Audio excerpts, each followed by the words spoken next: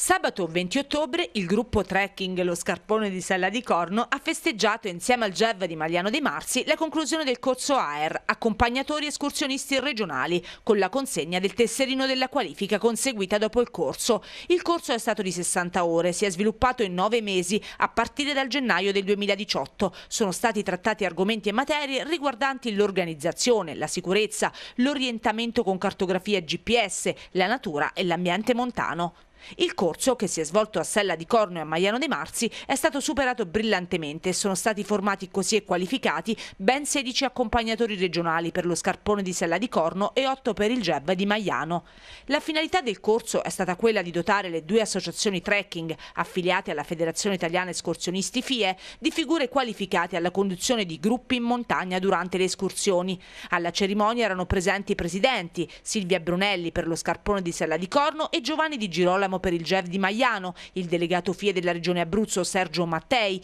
il tecnico federale FIE responsabile degli accompagnatori nazionali della formazione Ugo Stocco, il sindaco di Maiano Mariangela Miconi e gli assessori del comune di Scoppito Francesca Rossilli, Pamela Soncili e Alessio Albani.